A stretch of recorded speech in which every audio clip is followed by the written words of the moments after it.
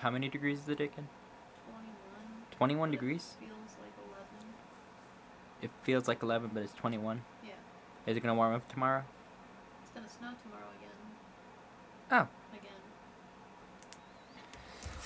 Well, you heard it here, folks. Here in Texas, we are being stormed by a blizzard. I mean, supposedly. I grew up in Kansas for like 10 years of my life, so this is just winter to me. Everybody in Texas right now is panicking. They're rioting in the streets or in their homes, cooped up. They're rioting on the TV and stuff. They're freaking out. People don't have electricity. People don't have water. People are freezing to death. Uh, people are getting stuck in the snow. Accidents are happening. I mean, it was all over the news. It was like a most horrific casualty car accident wreck thing in the history of wrecks, I guess, in, in Fort Worth or whatever. People are just slamming into each other.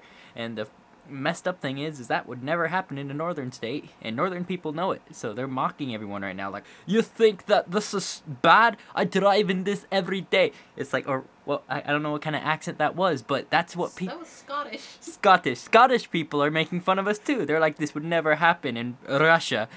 Never happen in Russia.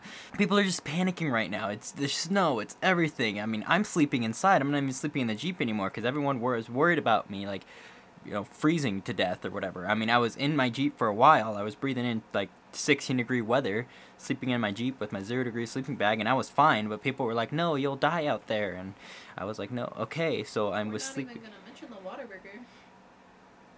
Whataburger's the only place open.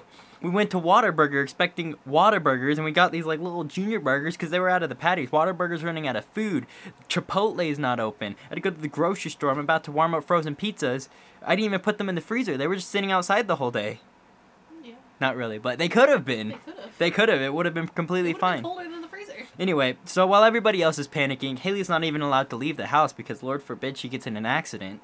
Other people aren't leaving the house. The coffee shop's closed, Starbucks is closed, McDonald's is closed, Walmart has limited hours, HEB has limited hours, food's running out of stock, and with all this chaos happening, I decided to go play in the snow.